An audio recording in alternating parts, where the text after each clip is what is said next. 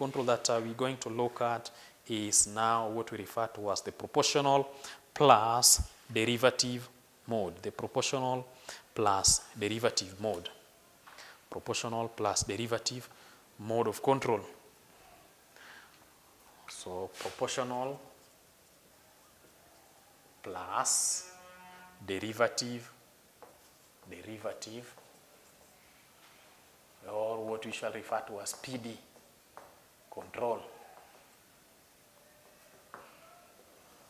shall refer to as the PD control. So for the PD control, uh, in this case, the derivative uh, control mode is at times it is always used the proportional mode in order to reduce the tendency for oscillations. We know that one major problem with the derivative mode is that derivative mode does not act when the error changes, but rather acts when there is a rate of change in the error. So in that case, there is a tendency for the oscillations. Uh, it, it is always used with the proportional mode in order to reduce the tendency for oscillation and allow a higher proportional gain setting.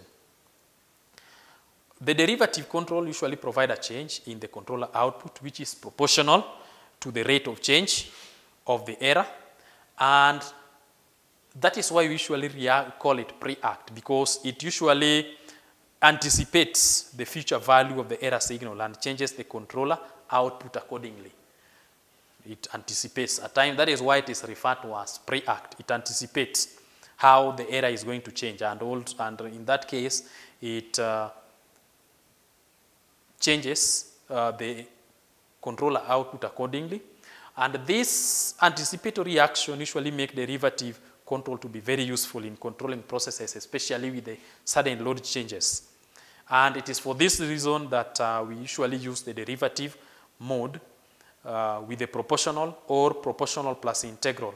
When sudden load changes usually produce excessive error. So the derivative mode of control is always referred to as rate of action or pre-act because of these uh, reasons that we've talked about. It usually opposes the change of a controller variable, which usually help in damping the oscillations of the controller variable.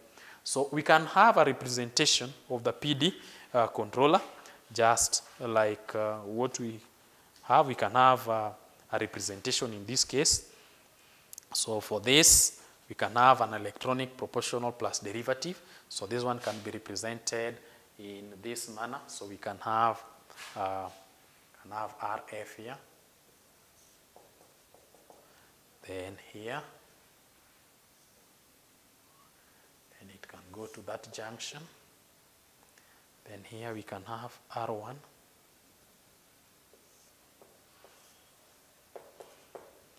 Then here we can have the capacitor CD. Then here we can have RD. Then input, then at this point we can have the op amp. Then we have that. Then at this point we can have RF. Then of course we have the input E error. Then we have the output V. So that is what the PD control is all about. So if you look at that, uh, then of course there are uh, the equations that uh, we're going to look at as far as it is concerned, especially for the proportional plus derivative. We can very, very fast look at the equations, uh, the equations representing this so that uh, when you are supposed to do an analysis or you are supposed to get some values of, of the parameters that are used in that particular control, uh, mode, then you should be able to get them without any problem. So let's look at the analysis of the equations. We are going to start by looking at the time domain. Time domain equation. So when you look at the time domain equation, then in this case, we have small v plus uh, alpha td dv dt this is always added in order to bring about that limiting, the, the limiting action of how the derivative mode usually responds to a step input. And that is, is equals to KE. So the first part is directly proportional to the error. Then the second part is directly proportional to the rate of change of the error. That is KTD, the error all over dt, and then of course plus the initial conditions. So if you get uh, if you get the Laplace transform of this, then of course we are able to obtain the frequency domain equation, frequency domain equation. So for you to obtain the frequency domain equation, then we have capital V, which is going to be given by KE, so that KE, that is after reorganizing the whole equation, plus KT DSE, then the whole of this is multiplied by 1 all over alpha TDS plus 1. And then, of course, that is what we have for the frequency domain. So that one means that we are simply getting from this, we get the Laplace transform of that equation. Of course, dvdt, ddt will become s, and then, uh, of course, E will be written in capital letters to show that the domain of the equation has changed from the time domain to frequency domain. Then after that, we can reorganize and may bring uh, E V over E to be the subject in order to obtain the transfer function.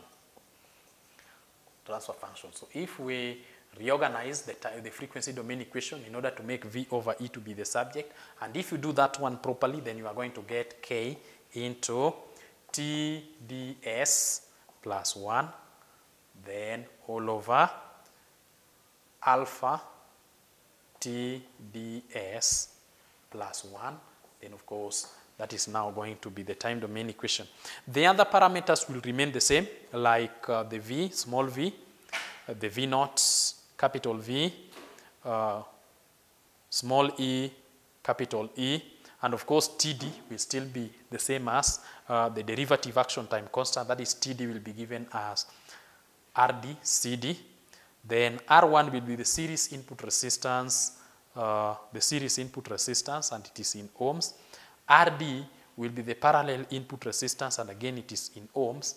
RF will be the feedback resistance in ohms, and CD will be the input capacitance in farads.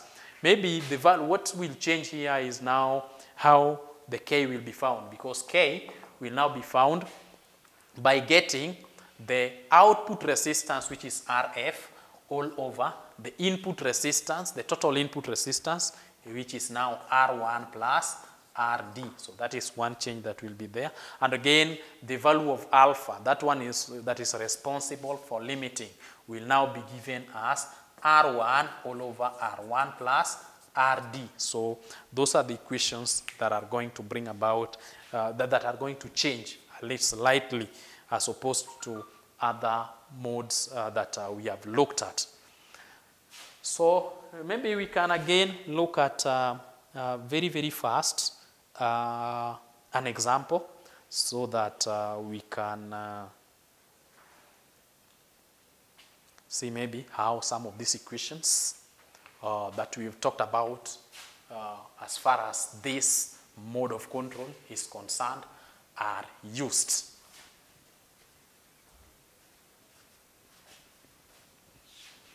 So the equation here, uh, the, the example, so we can look at an example. Example.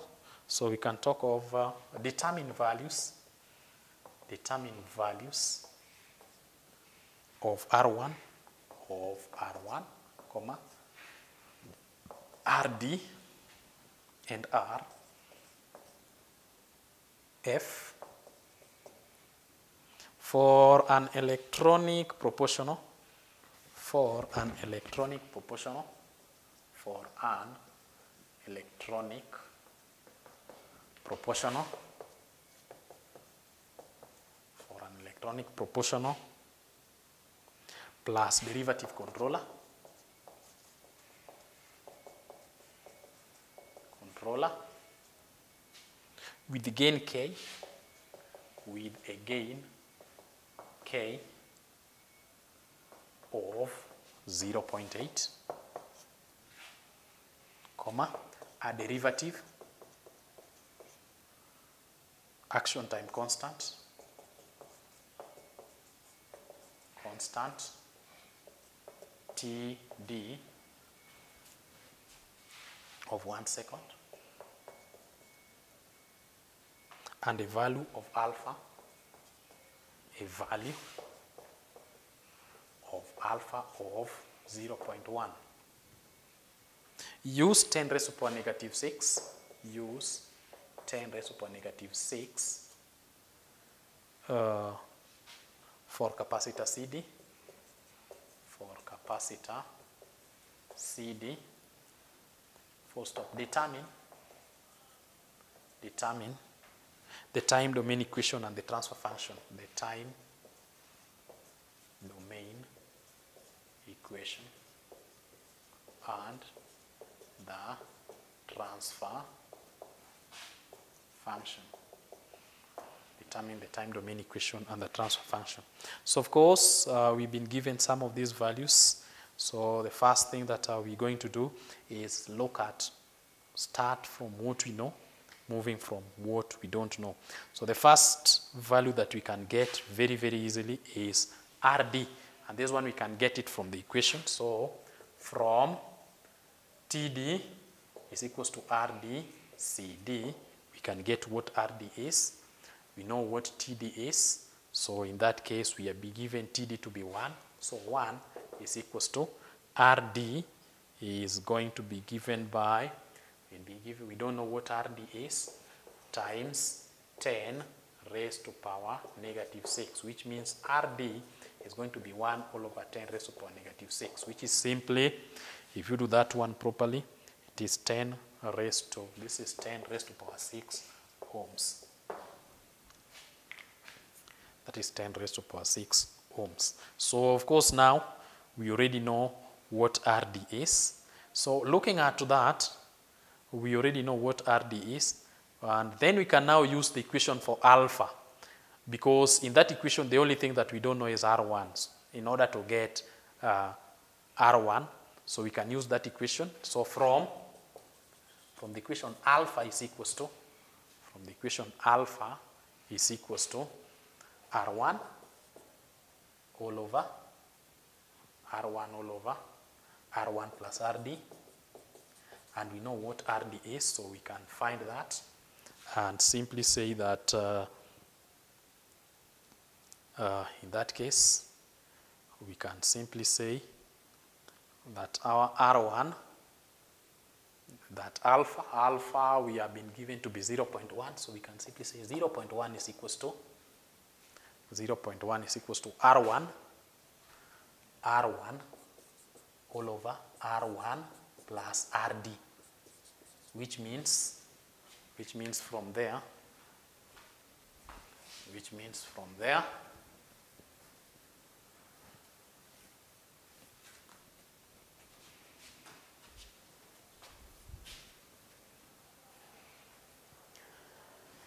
which means from there we can say that uh, 0.1 R1 plus 0.1 RD is equals to R1.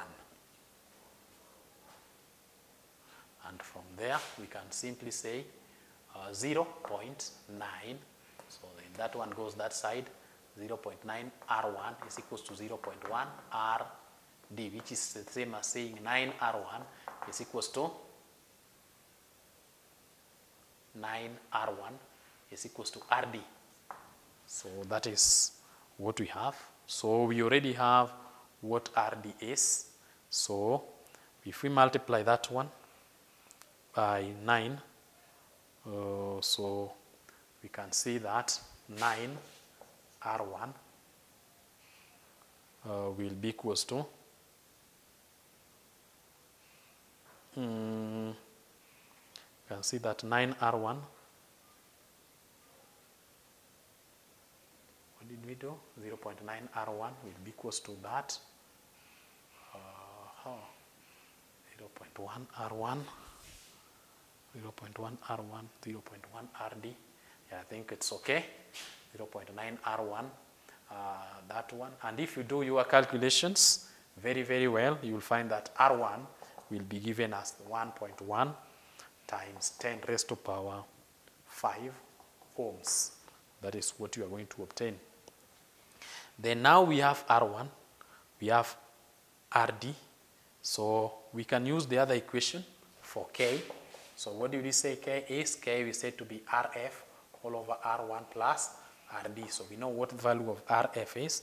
So 0.8, which is K, is equals to RF all over 1.11 times 10 raised to power 5 ohms plus 10 raised to power 6 ohms, which is simply means that our RF is going to be all over 1.11 times 10 raised to power 6. So that is what, uh, then if you do that, then RF is now going to be 0.888 times 10 raised to power 6 ohms. Then now you are through with finding R1, RD, and RF. Now what remains is getting uh, what we refer to as uh, the time domain equation and the frequency domain equation. So for the time domain equation and the frequency domain equation, just go directly to that equation and then uh, insert whatever values that you have and whatever values that you don't have, just leave them that way. Like in that case, if you do that, you are going to obtain small v uh, plus 0.1 dv all over dt is equals to 0.8 e plus 0.8 dE all over dt plus v naught as your time domain equation. So this is the time domain equation. Then the other thing that we've been asked is the transfer function. Of course, just get the values and uh, do the substitution. So V over E, if you do that, you are going to obtain V over E as 0.8 into S plus 1 all over 0.1 S plus 1.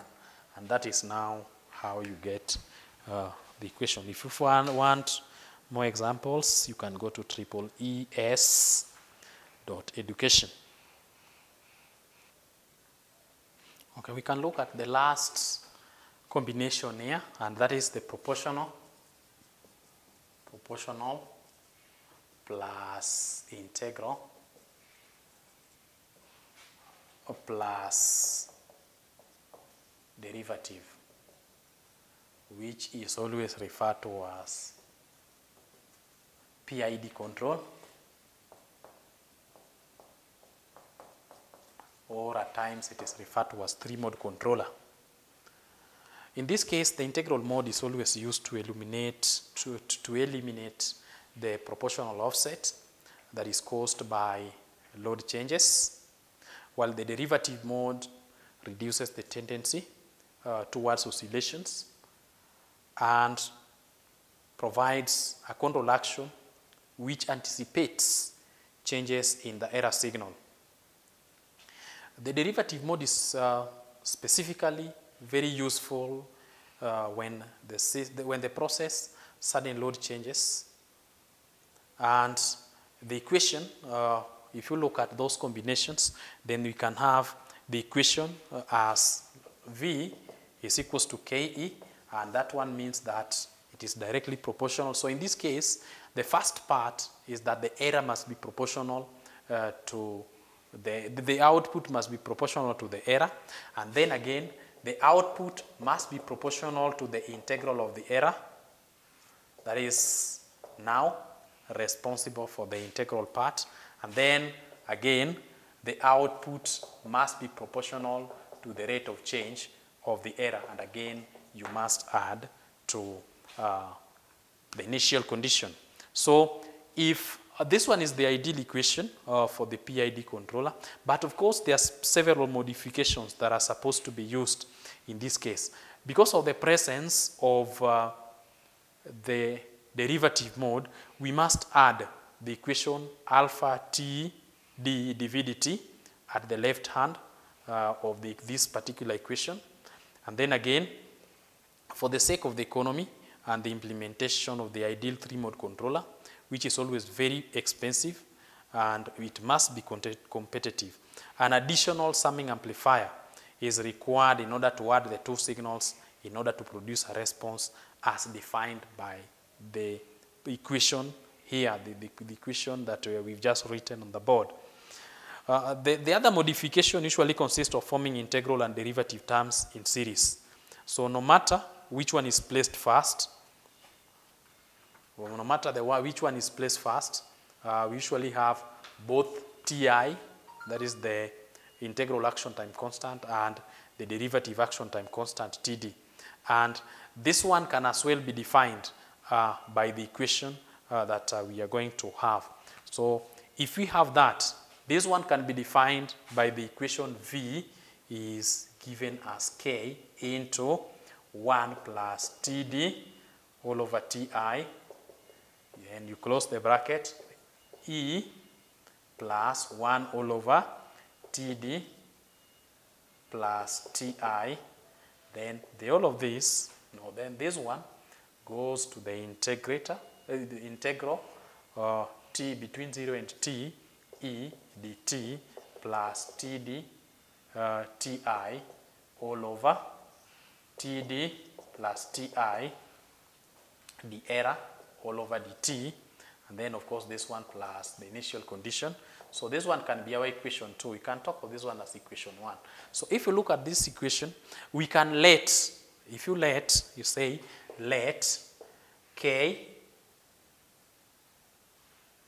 no, k prime comma ti prime and td prime represent the equivalent ideal gain and also the integral, integral time and also the derivative, time.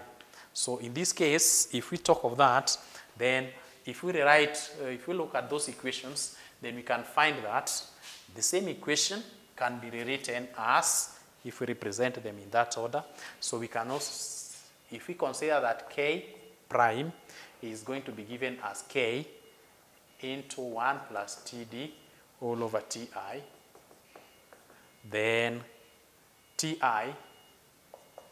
prime is given as td plus ti, then td prime is given as td ti all over td plus ti, then we can say that v will be given as k that considering the equation 2, k prime into e plus 1 over t i prime integral or between 0 and t e dt plus t d prime the error all over dt plus v naught. So if you look at the equation, the first equation, we have rewritten the second equation in terms of the first equation and in that case that is now uh, what we have. So in that case we can always use those constants as that. So you can always have the figures um, on how this one can be represented. So we are going to look at uh, the figures where in the first case we can look at uh, uh, when it is when the integral, uh, when the derivative is at the input and then in the second case when the integral is, is at the input. So the first case derivative is at the input and in the second case, we consider integral at the input. And then we can look at the various uh, equations as far as it is concerned. And then from there, we can uh, do analysis and maybe uh, one more ex one example on this. So we can look at the equation. Uh, the first case, uh, we can look at the equation when the derivative is at the input. So it can be two equations. You can start with any, but the most commonly used one is when the derivative is at the input. So we can look at that. So we can say, so the first case, we can talk of having RD here. Then here, we have CD. Then you have that.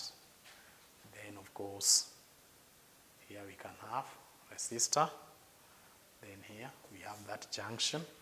Then we can have Ri, then C, I, then we have the op amp here, then of course that. Then as usual, our input is the error, and then the output is V. So that is the first case, considering the input to be uh, derivative. So if you look at the first figure, it is just a schematic diagram of a three-mode controller in which the derivative action is formed at the input to the op amp, and the integral is formed at the uh, feedback circuit.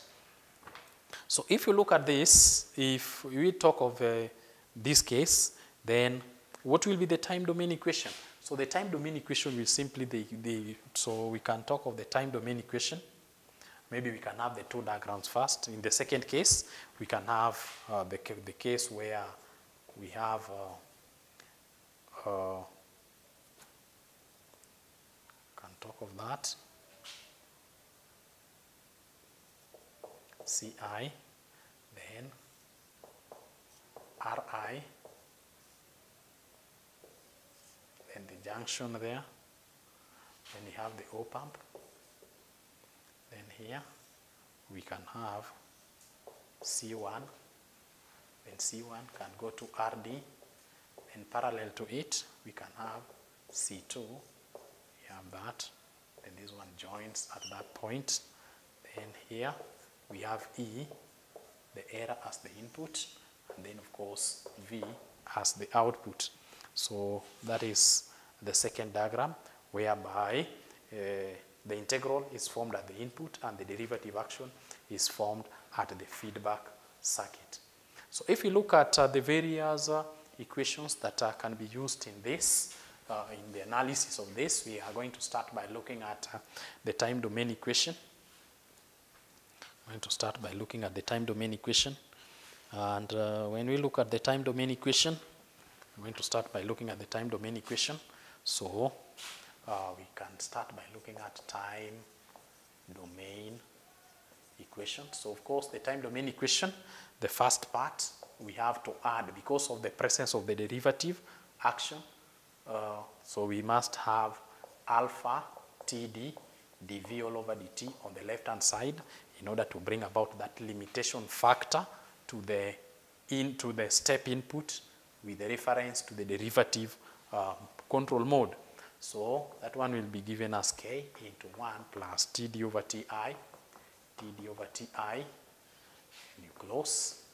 Then we have e plus 1 all over td plus ti, then integral between 0 and t of e dt plus td plus td ti all over td plus ti, td plus ti, uh, the error all over dt, and of course plus v naught.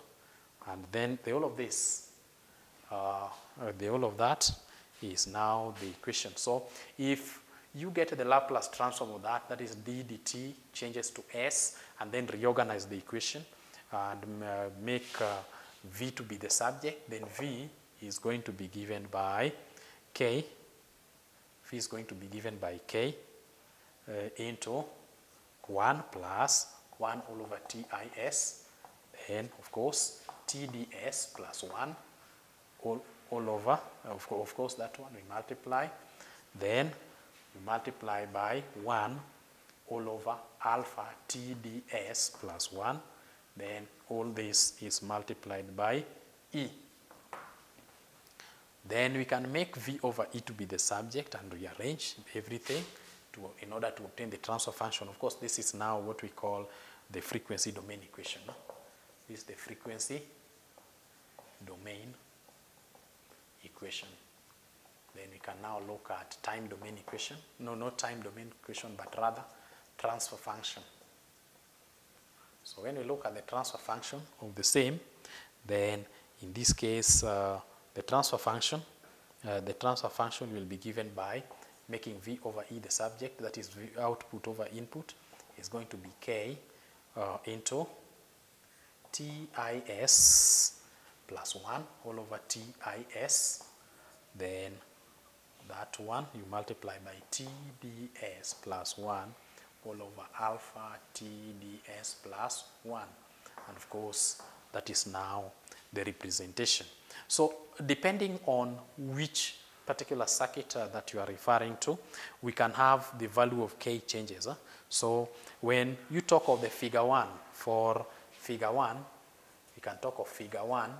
For figure 1, K will be given as, uh, for figure 1, the resistances uh, that we have, K will be given as Ri, which is the output resistance, all over the sum of the two resistances, that is uh, R1 plus Rd will give you K. Then alpha will be given as R1 all over R1 plus Rd. Alpha is R1 all over R1 plus Rd. Then, of course, if you talk about Ti, will be the same. That is now for figure 1. For figure 1, Ti will still be Ri, Ci. Then Td will be the same as Rd, Cd. So we can talk about the figure 2. If you talk about figure 2, the figure 2, then of course K will now be, we can express K in terms of the capacitor. So K will be given as Ci over C1. Then Ti, so alpha will be given as C2 over C1 plus C2. And of course Ti will be the same, Ri, Ci, and TD will now be RD into C1 plus C2. So that is uh, the expression that will change. And in most cases, uh, we usually use the first case. So I want us to look at an example whereby, an example of calculation whereby we are going to use the first case. And then I think with that, we are going to uh, uh, put an end to the discussion as far as the modes of control are concerned. So let's look at an example very, very fast using the first uh, case. So I'm going to leave it write the example. So in this case, uh, the example here is that determine the values of R1, Ri, and Rd. So example, uh, example, determine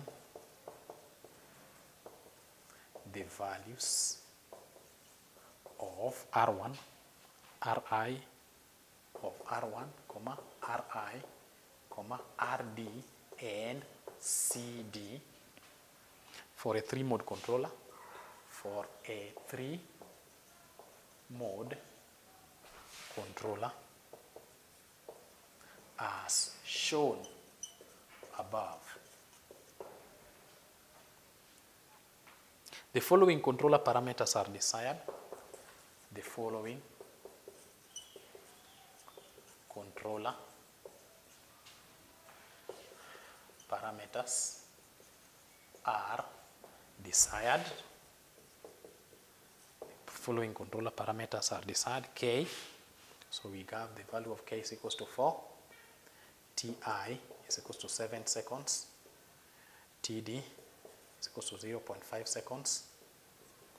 And finally, alpha is equals to 0.1. Use 10 raised to power negative 5 farad capacitor. Farad capacitor for CI. Determine the time domain equation and the transfer function. Determine the time domain equation and transfer function. So that is uh, what uh, we have. So very, very fast we can look at the solution and then look at uh, the equations that we are going to use. So in this case, the first uh, value that we can easily get is uh, Ri because we know what Ti is. So we are going to first of all start by getting Ri. uh, Ri. So from Ti, we know that Ti is equals to Ri Ci. So in that case, uh, our Ti is 7 is equals to Ri. We don't know what Ri is, but we know what Ci is. So Ci we have been given to be uh, times 10 raised to negative 5 micro, uh, times 10 raised to negative 5 farads. So if you do that, then making Ri to be the subject is going to be 7 all over 10 raised to power negative 5, which is going to give us 7 times 10 raised to power 5 ohms. So that is the value of Ri. After finding Ri, we are supposed to get uh, the other values. So we still have R1 and RD. We can use alpha. So alpha is equals to R1 plus uh, R1 all over R1 all over R1 plus RD. We don't have any of these values, but we can, of course, we can express one in terms of the other, then again get to the equation for the K, and then we can always get the value. So in that case, we can get uh, that 0.1 is equals to R1 all over R1 plus RD. So that one means that 0.1 R1 plus 0.1 RD is equals to R1. And in that case, we can say that RD is going to be given by 9R1 if you simplify that equation. That is, taking this, subtracting it from there, then of course multiplying by 10 to avoid the decimals. So that one will become RD uh, is equals to R 9R1. So we can leave that equation in that manner and then we'll come back to it later on. So in that case, we can get to the other equation where K is given as Ri all over R1 plus Rd and ex get, get expression for this and we will find a way of linking them in order to get the values of the resistances R1 and Rd. So in that case, we can find R, uh, we can get the expression for that. Of course, we have been given K, so that case 4 is equals to Ri. Ri, do we have Ri? Not yet. So it's going to be Ri all over R1 plus RD. And then we can talk of, we know what Ri is, so that is going to be given as Ri, we say that is 7 times 10 raised to the power 5 all over R1 plus 9R1. Remember we had already gotten the value of uh, RD to be that. So that one means that we have that one all over 10R1. So we can say that 10R1, so in that case, we can simply say that adding the 2, of course, that is equals to 4. So we can say 40 R1 is equals to, we can say that 40 R1 is equals to uh, 40 R1 is equals to 7.5 times 10 raised to power 5. And of course, it means that R1 is equals to 7.5 times 10 raised to the power 5 all over 40, which is uh, 1.75 which is 1.75 times 10 uh, raised to power 4 ohms. So that is what R1 is. So if we want to get RD, RD there is an expression that was linking RD and R1. So RD is going to be 1.75 time, times 10 raised to power 4 times 9. So that is what will give us RD times uh, 9 which from, from uh, the value of RD is equals to 9R1. And that one, if you do it properly, you are going to get 1.575 times 10 raised to power uh, 5 ohms. Times 10 raised to power 5 ohms. Then from there, we go back to the equation TD is equals to RD CD. Then from there, we know that TD from what we were given, TD is equals to 0.5. So 0.5 is equals to RD, which is 1.575 times uh, CD. So we don't know what CD is. So if we want to get CD, it's going to be 0.5 divided by 1.5. So this 1.575 times 10 raised to power 5 times CD. So that is going to be 1.575 times 10 raised to power 5 C. And then, then that is now what CD is. So if you divide properly, you should find that CD is 3.17 uh, times 10 raised to power minus 6 farads, which can as well be represented as uh, 3.17 microfarads. Then after that, now we have obtained the values of R1, Ri, Rd, and Cd. So what we are remaining with is uh, uh, the, time domain equation as well as the transfer function. So this ones you simply get the equation and then insert the values, uh, all the values that you have and leave alone the values that you don't have. So we are going to start uh, by looking at uh, the time domain equation.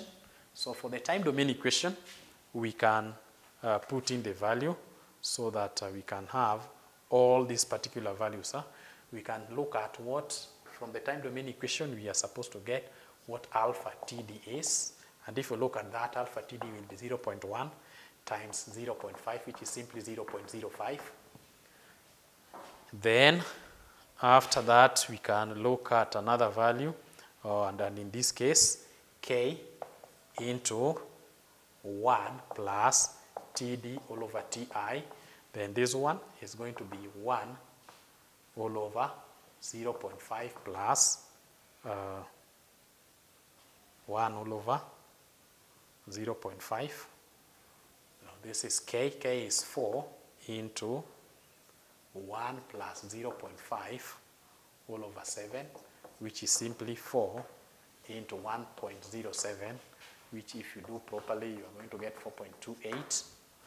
Then 1 all over ti plus t, or 1 over td plus ti is going to be 1 all over 0 0.5 plus, plus 7, which is simply 1 over 7.5 which is going to be 0.133.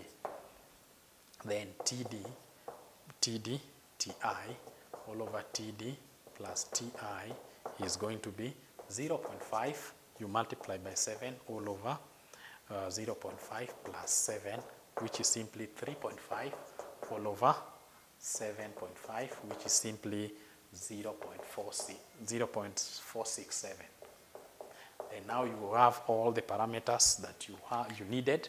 You simply insert them in the in the general equation uh, for the time domain equation for this, which is now go. If you do that, then we are going to find the time domain equation to be v, that is small v, plus 0.05 dv dt is equals to 4.28 uh, into e plus 0.133 integral of e dt, that is between 0 and t, uh, plus 0.467 dE all over dt, then close the bracket plus the initial condition, which is that. And then the transfer function, so this is the time domain equation. No? So we were looking at the time domain equation and then defining all the parameters that are found in the time domain equation. Then after that, we now look at the transfer function. For the transfer function, we also just do the same, insert the values. V all over E is going to be given by, uh, we have 4 into 7s plus 1 all over 7s. Then close that. Then you multiply by 0.5s plus 1 all over 0.05s plus 1 and that is now the transfer function. So you have obtained all the values that uh, you are given. So for further problems you can as well refer to the website that is triple es dot education.